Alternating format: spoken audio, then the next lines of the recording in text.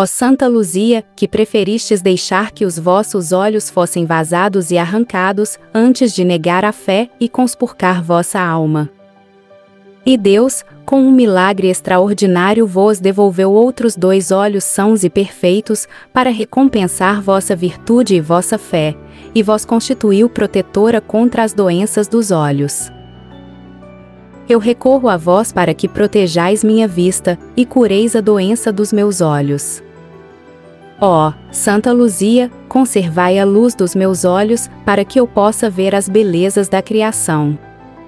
E nunca errar o caminho que me conduzirá onde vós, Santa Luzia, vós encontrais em companhia dos anjos e santuário. Conservai também os olhos de minha alma, a fé pela qual posso conhecer o meu Deus, compreender os seus ensinamentos, reconhecer o seu amor para comigo. Santa Luzia, protegei meus olhos e conservai minha fé.